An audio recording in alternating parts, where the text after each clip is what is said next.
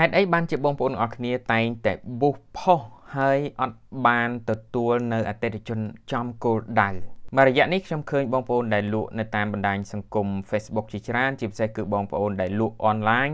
គាត់តែងតែរអ៊ូរទាំថាការប៊ូសរបស់គាត់ពុំសូវទទួលបាននៅលទ្ធផលល្អនោះទេថ្ងៃនេះខ្ញុំចែករំលែកនៅវិធីសាស្ត្រប៊ូសថ្មីមួយទៀតដែលទើបតែអាប់ដេតនៅឆ្នាំ2021នេះ សួស្តីបងប្អូនអរគ្នាសូមស្វាគមន៍ដែលចូលមកកាន់វីដេអូឃ្លីបរបស់ខ្ញុំថ្ងៃនេះថ្ងៃនេះខ្ញុំចែករំលែកនៅគន្លឹះនៅក្នុងការប៊ូសផុសរបស់បងប្អូនអរគ្នា ដែលយើងហៅថា boost តាមផ្លូវក្រោយឬក៏យើងហៅថា boost ទៅតាម ad manager សម្រាប់បងប្អូនថ្មីថ្មីដែលអត់ទាន់បាន subscribe channel របស់ខ្ញុំនៅ channel ថ្មីមួយនេះបងប្អូនអាចចុច subscribe channel របស់ខ្ញុំចុចសញ្ញារូបកណ្ដឹងដើម្បីទទួលបាននៅគន្លឹះក៏ដូចជាបច្ចេកទេសនៅក្នុងការប្រើប្រាស់ Facebook ទាំងបងប្អូនរកអាជីវកម្មលក់អនឡាញនិងបងប្អូនដែលរក MMO ដែលតាមបទពិសោធន៍កន្លងមកខ្ញុំប្រើប្រាស់ការ boost នៅក្នុង Ad Manager គឺទទួលបានលទ្ធផលច្រើនជាងការប៊ូសទៅតាម page ដែលនៅខាងក្រៅទី1 boost តាម Ad Manager មានភាពតាក់ទាញជាង boost នៅក្នុង page នៅលើ page platform នៅលើ view feed របស់ page នៅខាងក្រៅទី2យើងអាចកំណត់ម៉ោង boost បាន ទី3យើងអាចជ្រើសរើសបានការ boost របស់យើងច្រើន option ទី4បើសិនជាយើង boost ទៅតាម Ad Manager Ad Manager មានភាពវៃឆ្លាតជាង boost នៅលើ feed ខាងក្រៅនិងទី5យើងអាចកំណត់បាននៅអតិថិជនចំគោលដៅជាងការ boost ផុសនៅខាងក្រៅបាទខ្ញុំនឹងទៅបង្ហាញបងប្អូនទាំងអស់គ្នា នៅវិធីសាស្ត្រនៅក្នុងការប៊ូសការរៀបចំការប៊ូសនៅក្នុងកុំព្យូទ័ររបស់ខ្ញុំ ចាប់ពីចំណុចចាប់ផ្ដើមរហូតដល់ចុងបញ្ចប់ សង្ឃឹមថាបន្ទាប់ពីវីដេអូនេះទៅបងប្អូនទាំងអស់គ្នាអាចស្វែងយល់ហើយអាចរកយកវិធីសាស្ត្រនេះទៅប្រើប្រាស់នៅក្នុងអាជីវកម្មរបស់បងប្អូនទាំងអស់គ្នាធ្វើយ៉ាងណាឲ្យអាជីវកម្មរបស់បងប្អូនទាំងអស់គ្នាកាន់តែរីកចម្រើន ជាទូទៅវិធីសាស្ត្របែបនេះគឺជាវិធីសាស្ត្រអាត់កំបាំងរបស់ Facebook ពេលខ្លះគេត្រូវការឲ្យបងប្អូនផេលុយទៅឲ្យគេបន្ថែមទៀតផងដើម្បីឲ្យគេបង្ហាញនៅកលឹះថ្មីថ្មីបែបនេះ ពីព្រោះអ្នកដែលចេះភាគច្រើនគឺគាត់ចេះពីខាងក្រៅប្រទេសមកបាទអញ្ចឹងយើងទៅមើលនៅកុំព្យូទ័ររបស់ខ្ញុំជាមួយគ្នាបាទឥឡូវយើងមកដល់កុំព្យូទ័រហើយចំណុចដំបូងអ្នកនរគ្នាចូលមកកាន់ Facebook របស់អ្នកនរគ្នាអ្នកនរគ្នាអាចវាយ facebook.com ក៏បានអ្នកនរគ្នាអាចចុចទៅលើប៊ូតុងណាដែលដូចជានៅលើកុំព្យូទ័ររបស់ខ្ញុំខ្ញុំដាក់ link ជាប់នៅអញ្ចឹងបាទនៅលើកុំព្យូទ័ររបស់ខ្ញុំមានអញ្ចឹងអញ្ចឹងអ្នកនរគ្នាវាយពាក្យថា facebook.com បាទនេះ អឺខ្ញុំជឿថាអ្នកនរគ្នាច្បាស់ជាចូលចេះចូលក្នុង profile Facebook របស់អ្នកនរគ្នាណា profile Facebook ដែលជា admin ដែលជា admin កាន់ page ណាហើយខ្ញុំតែងតែរំលឹកបងប្អូនអរគ្នាជាពិសេសគឺបងប្អូនដែលរកទទួលទានអនឡាញ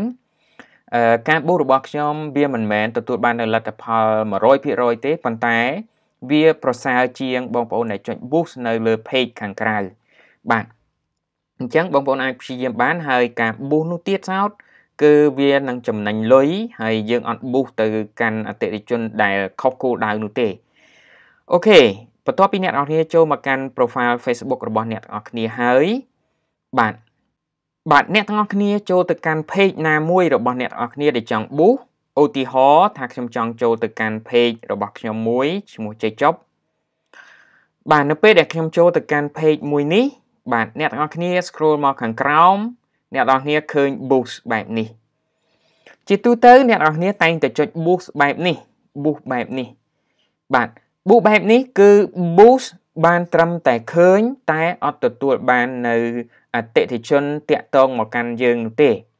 បាទជាទូទៅ boost បានតែ engagement boost បានតែ reach តែប៉ុណ្ណោះបានតែធ្វើឲ្យគេឃើញធ្វើឲ្យគេ like តែប៉ុណ្ណោះណា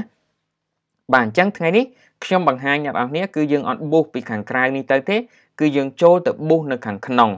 អញ្ចឹងអ្នកនរគ្នាអាចចូលទៅកាន់ profile របស់អ្នកនរគ្នាវិញវិធីសាស្ត្រនៅក្នុងការចូលទៅកាន់ការប៊ូសនោះអាចមានច្រើនបងប្អូនអាចចូលមកកាន់ Ad Manager កន្លែងនេះតែម្ដងក៏បានបើសិនជា Facebook របស់បងប្អូន គឺជា Facebook ថ្មី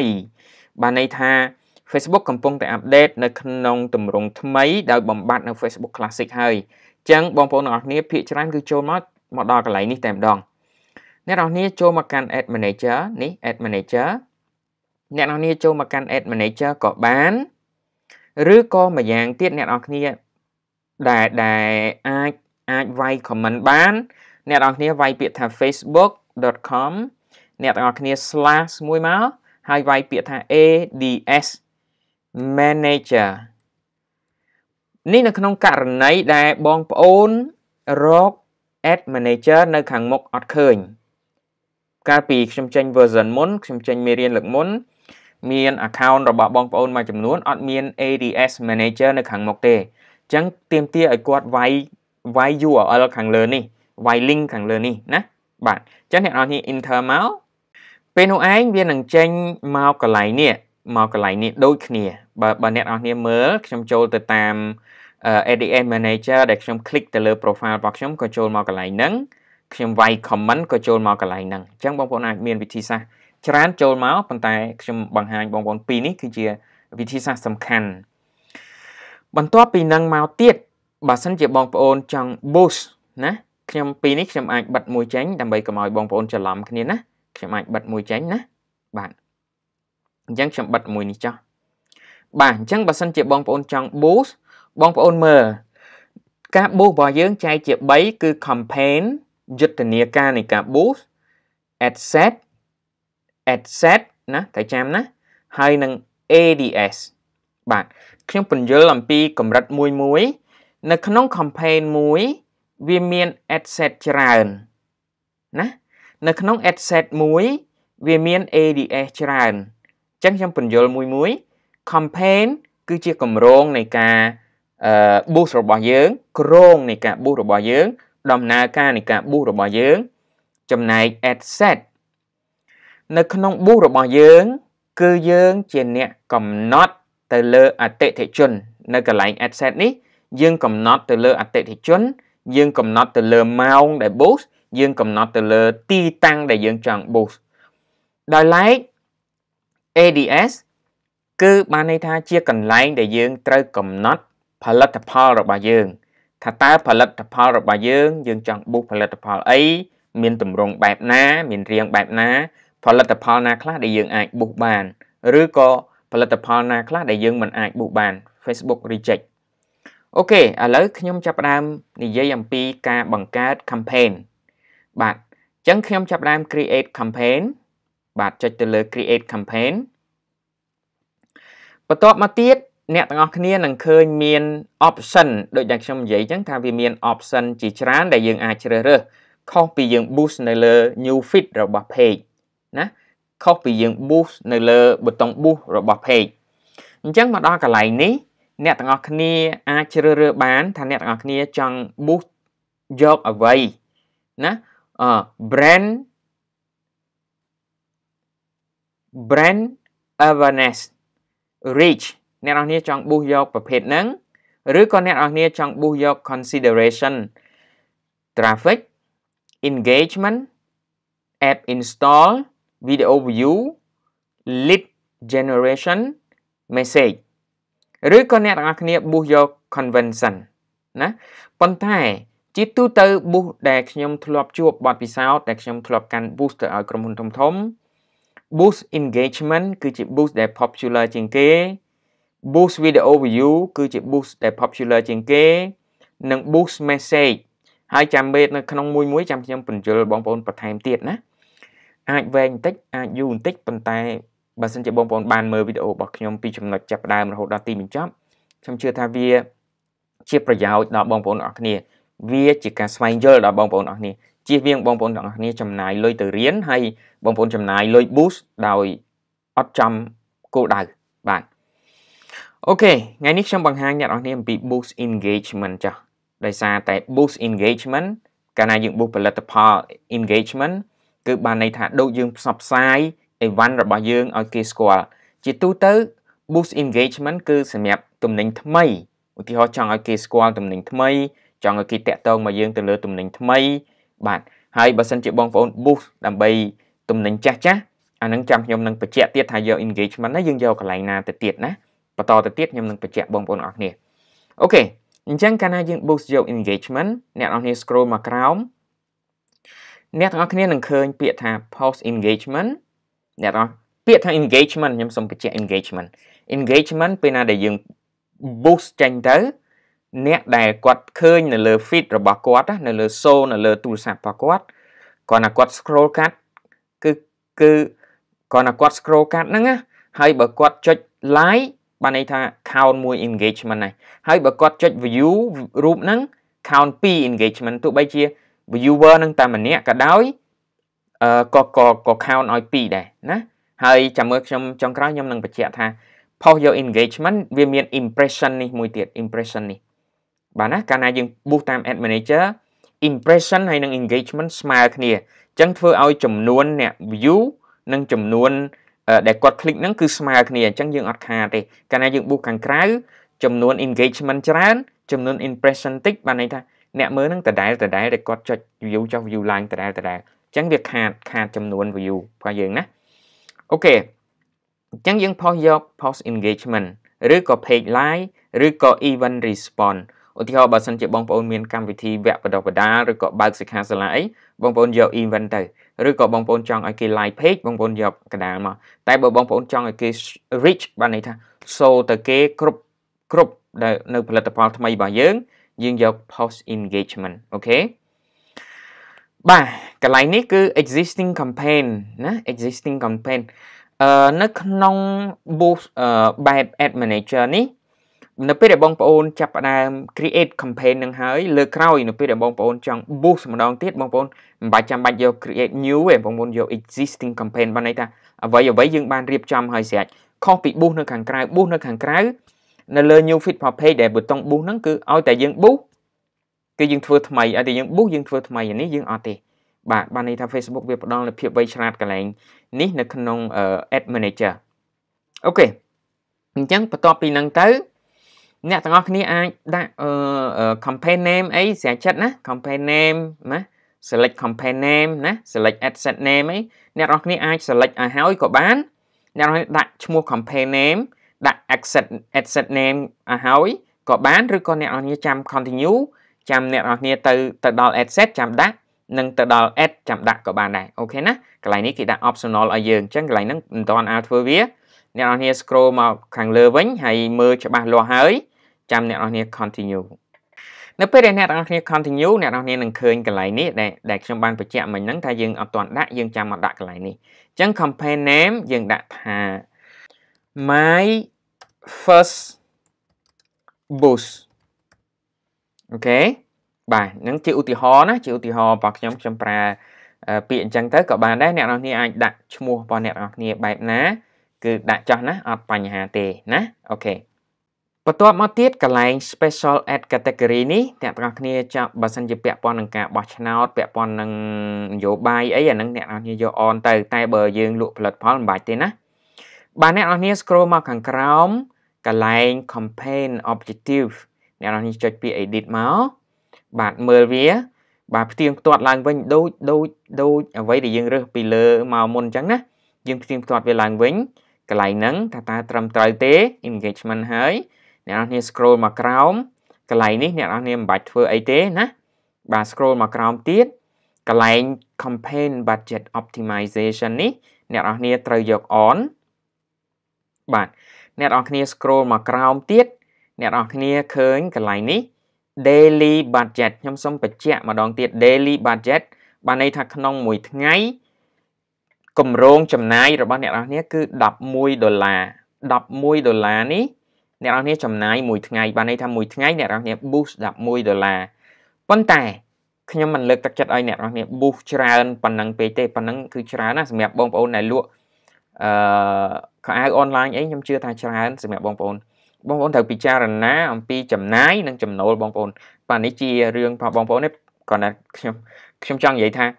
យើងត្រូវតែគិតពីរឿងចំណាយมันអាចចំណាយច្រើនជាងចំណូលទេអូខេអញ្ចឹងកន្លែងនេះអ្នកនរគ្នាយកពាក្យ lifetime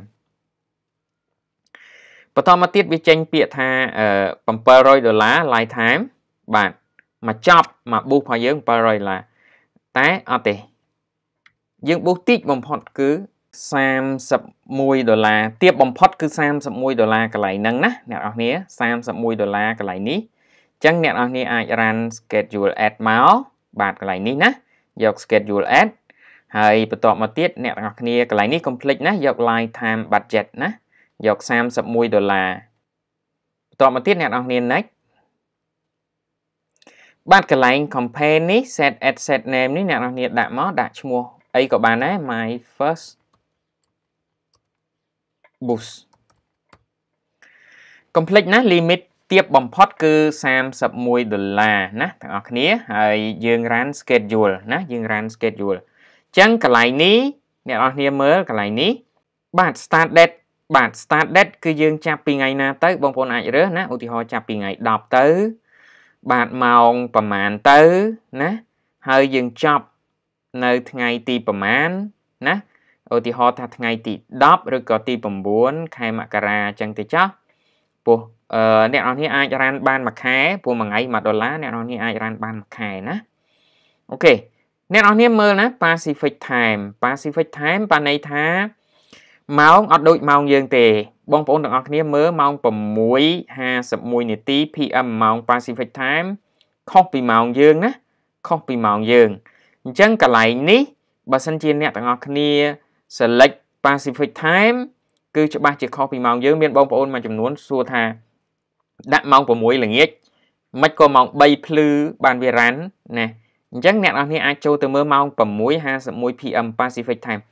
ចូលទៅក្នុង Google ហើយអ្នកទាំងអស់គ្នាអាច note ចំណាំទុកណាអារបៀបក្នុងការប្រាប់របស់ខ្ញុំបាទ Pacific Time អ្នកទាំងអស់គ្នាអាចនេះទៅ Pacific Time ម៉ោង6ម៉ោង6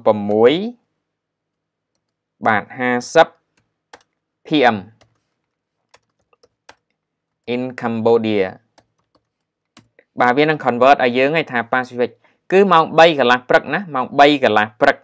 ម៉ោង6ម៉ោង6:50ណាអឺម៉ោង Pacific Time គឺម៉ោង3ម៉ោង4ព្រឹកហ្មងម៉ោង7 4ព្រឹកអញ្ចឹងអ្នកនរគ្នាត្រូវលៃកន្លែងហ្នឹងឲ្យបានច្បាស់ណាមើលឲ្យបានច្បាស់ផងប៉ុន្តែ ចំណុចទាំងនេះគឺខ្ញុំសូមបញ្ជាក់អ្នកនរគ្នាមកដល់កន្លែងនេះមកដល់កន្លែងនេះ បើអ្នកនរគ្នាយក use viewer time zone ណានេះអ្នកនរគ្នាកុំយកកុំយកណាកុំយក use this at account time zone pacific use viewer time zone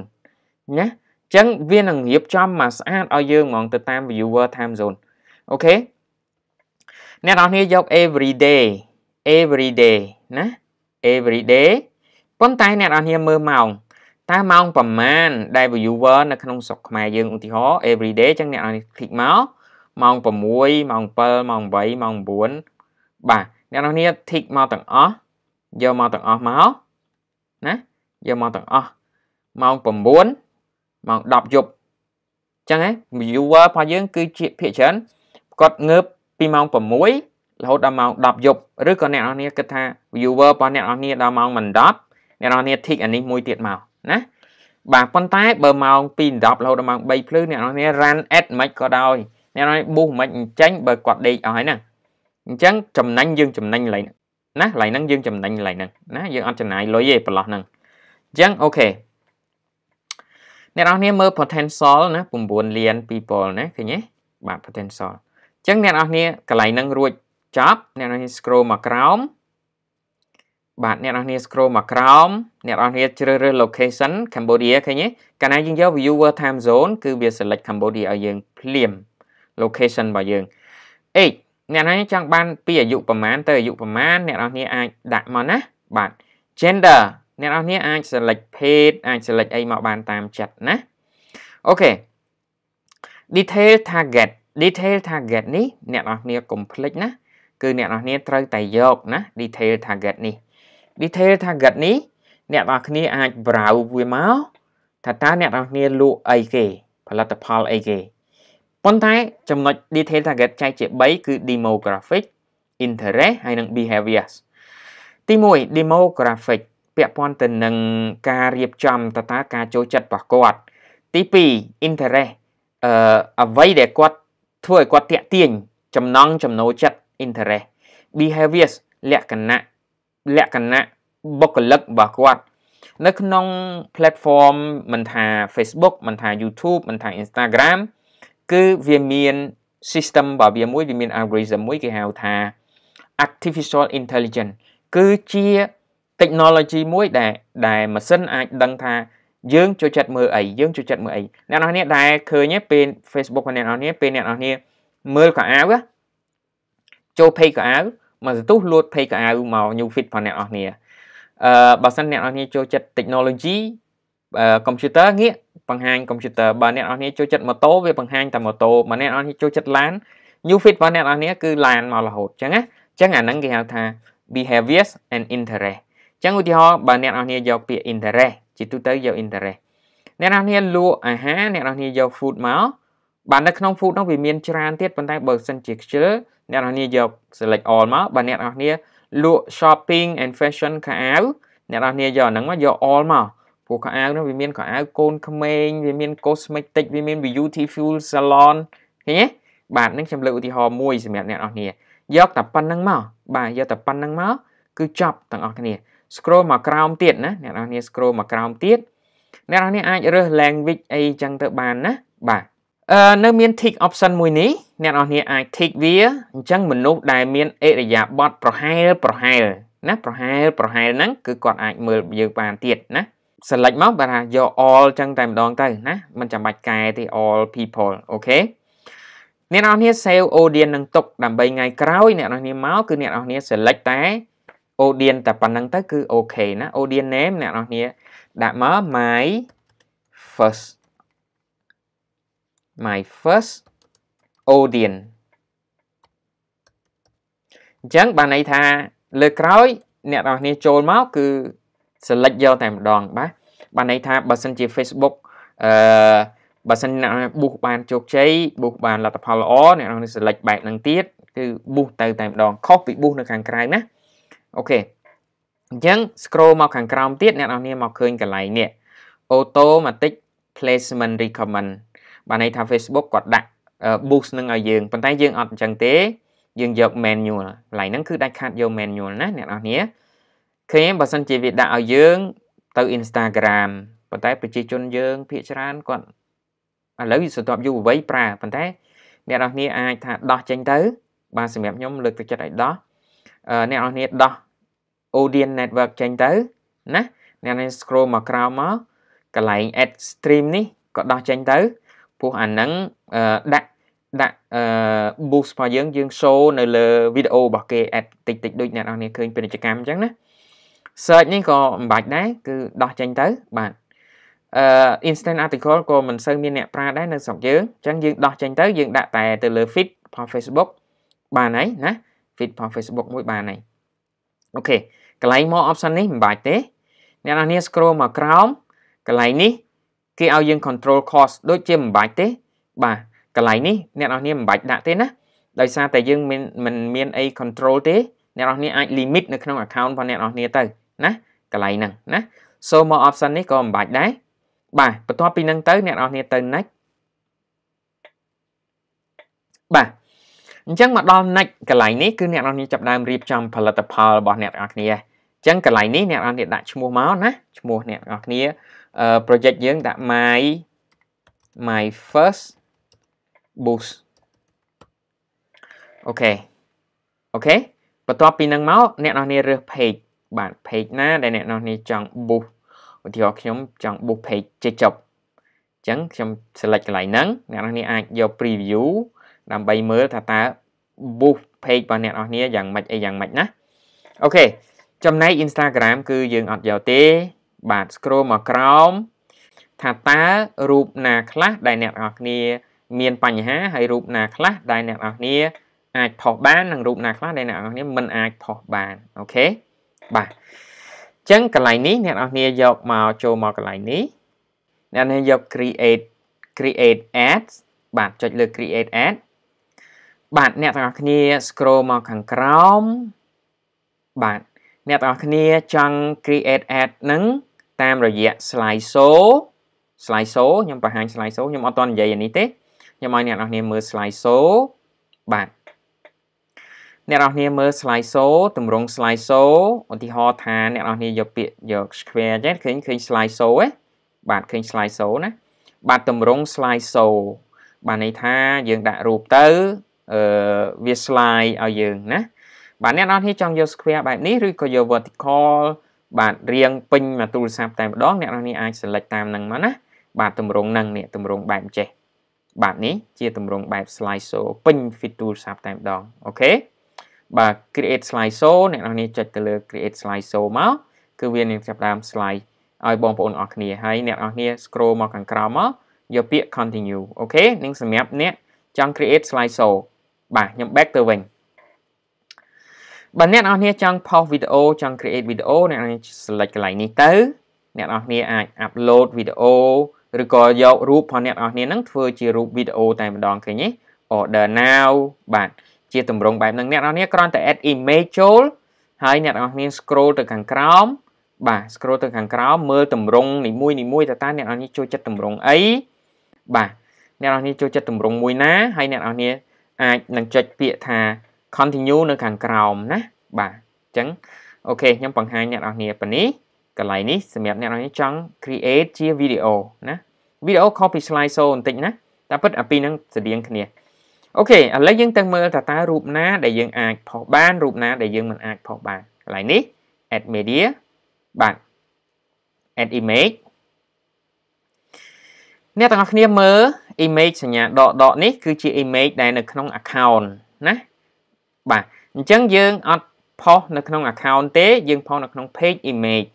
ពីព្រោះយើង boost page មែនទេអញ្ចឹង page image ចូលមកបន្តមកទៀតអ្នកនរគ្នានឹងឃើញសញ្ញាលឿងលឿងបែបនេះសញ្ញាលឿងលឿងបែបនេះបានន័យថាអ្នកនរគ្នា boost អត់បានទេ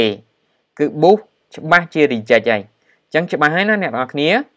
បាទកន្លែងនេះគឺ boost reject boost reject boost reject អញ្ចឹងរូបដែលយើងអាច boost បានមានតែរូបដែលអត់អត់មានសញ្ញានេះឧទាហរណ៍រូបមួយនេះ ខ្ញុំចង់ boost រូបមួយនេះអញ្ចឹងខ្ញុំ select ហើយខ្ញុំ next បាទពេលនោះវានឹង preview ឲ្យយើងមើលថាតើរូបរបស់យើងរាងយ៉ាងណា បាទអ្នកនរគ្នាចង់រកជា square feet ក៏បាន បាទបែបនេះទៅ ស្អាតជាងណាហើយបាទយើង next យើងដានបាទសុំទោសអ្នកនរគ្នាអាចដាក់រូបច្រើនបានណាខ្ញុំអឺមិញខ្ញុំមិនបានប្រាប់បាទដាក់រូបច្រើនបានណា បាទអ្នកនរនេះអាចដាក់វាទៅជាវីដេអូក៏បានបើសិនអ្នកនរនេះមានរូបច្រើនដាក់វាជាវីដេអូក៏បានដាក់រូបទាំងអស់ហ្នឹងជាវីដេអូក៏បានណាបាទអ្នកនរនេះនឹងឃើញពាក្យ sponsor កន្លែងនេះដាក់រូបសញ្ញាផែនដីចេះអូខេសញ្ញាផែនដីបានន័យថាផុសជា public primary text ខ្ញុំដាក់ថា please order now អូខេ for discount ណាបាទនេះគឺខ្ញុំដាក់កន្លែងនេះដើម្បីបង្ហាញទៅកាន់ភ្ញៀវរបស់ខ្ញុំថាឲ្យគាត់សូត្រ order ដើម្បី discount នេះនេះគឺអក្សរដែលនៅខាងលើតោះនេះបាទអក្សរដែលនៅខាងលើ ហើយបន្ទាប់មកទៀតអ្នកទាំងអស់គ្នាអាច add option បានទៀតណាអាច add option បាទអ្នកនរនេះអាចដាក់ option បន្ទាប់គឺអក្សរបន្ទាប់នឹងថែមទៀតបានណាតែយើងយើងមិនបាច់យកទេ បាទហើយអ្នកទាំងអស់គ្នាអាច add ប៊ូតុង add ប៊ូតុងអ្នកទាំងអស់គ្នាអាច add ប៊ូតុង send message អ្នកទាំងអស់គ្នាអាច add ប៊ូតុង call អ្នកទាំងអស់គ្នាអាច add ប៊ូតុង shop បាទឧទាហរណ៍យើង add ប៊ូតុង send message ចឹងអ្នកទាំងអស់គ្នានឹងឃើញកន្លែងនេះគេដាក់ថាចេកចប់ food wholesaler ជាប្រភេទ page ណាហើយ send message អូខេ order now អ្នកនេះ scroll មកក្រោមទៀតកន្លែងនេះអ្នកទាំងអស់គ្នា អាចដាក់ business partner របស់អ្នកនរគ្នា brand content អីបន្ថែមបានទៀតណាបាទអញ្ចឹងកន្លែងនេះអ្នកនរគ្នាអាចថែមបានហើយអ្នកនរគ្នា scroll មកក្រោមមានពាក្យ set up pixel បាទយើងមិនបាច់ទេអាហ្នឹងចាំមានឱកាសដោយសារវីដេអូវែងពេកអញ្ចឹងមានឱកាសមានឱកាសខ្ញុំនឹងបង្ហាញបងប្អូនអរគ្នាទៀតបាទខ្ញុំ scroll មកក្រោមណាឃើញទេខ្ញុំបានរៀបចំរួចរាល់ហើយបាទអញ្ចឹងក្រោយពីរួចរាល់ហើយអ្នកនរគ្នាចុចមកកាន់ next ទៀតបាទ ពេលនោះឯងគឺចាប់ផ្ដើម publishing ណា publishing បាទចាប់ផ្ដើមអឺមើលចាប់ផ្ដើម Facebook ចាប់ផ្ដើម review នៅអឺ page របស់យើងណាហើយមិនយូរប្រហែលគឺនឹងចេញពាក្យថា schedule មកអញ្ចឹងបងប្អូនមួយចំនួនឆ្ងល់ថា schedule នឹងជាអីគឺដោយសារតែអឺយើងអត់ទាន់បានបាទ page របស់យើងអត់ទាន់បានអឺ កំណត់ច្បាស់លាស់បានន័យថាអត់ទាន់បាន run ហើយ page របស់យើងកំពុងតែចាប់ផ្ដើម public ណាអ្នកនរគ្នាណាអញ្ចឹងយើងទុកពេលឲ្យអឺ Facebook ចាប់ផ្ដើម review នៅ content របស់យើង នៅ post របស់យើងអូខេបន្ទាប់ពីនឹងមកអ្នកនរគ្នាអាចចូលទៅមើលនៅក្នុងអឺ